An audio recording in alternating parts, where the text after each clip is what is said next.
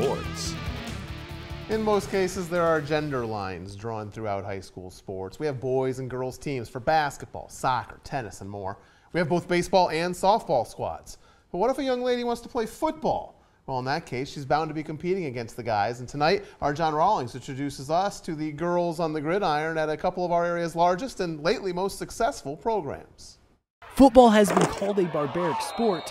However, not all barbarians have the same view. It could be a really delicate sport too. Like if you see Jaden running the ball, how he just runs, it's like he's on his toes, kind of like a ballerina. So I wouldn't say it's barbaric. Two girls, Gabby Dulebohn of Wapakoneta and Briana Wright from Lima Senior, have rid of the stereotype that football is only for boys. Usually, when you see like football, you always see dudes. But then I saw the one movie by Keke Palmer, and I was like, man, I can do that.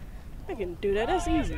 I really just I enjoyed playing the game so much, and I wanted to see what it was like actually being on the field, and then you felt you fall in love with the game. Both girls play on defense, meaning they have to make hits, and the teams don't let up just because of their gender. Uh, they don't take it any easier on me than I take it on them. I, I, when you get a hit, your adrenaline starts getting a little high, and it's just everything you worked for is right there in front of you.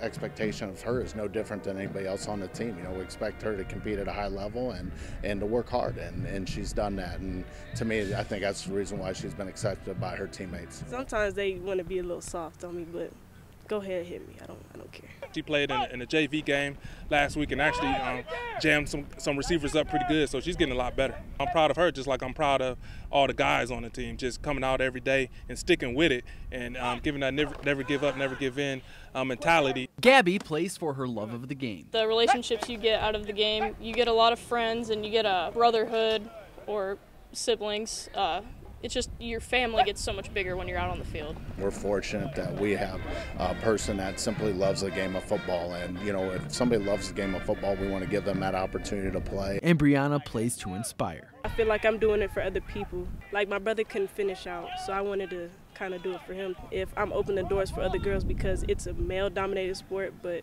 anybody can do it for real. If they want to play, you know, it's equal opportunity, and, and they're and they're doing a good job. So hopefully, you know, we get some more girls out here. For your News Now Sports, I'm John Rawlings. Thanks, John.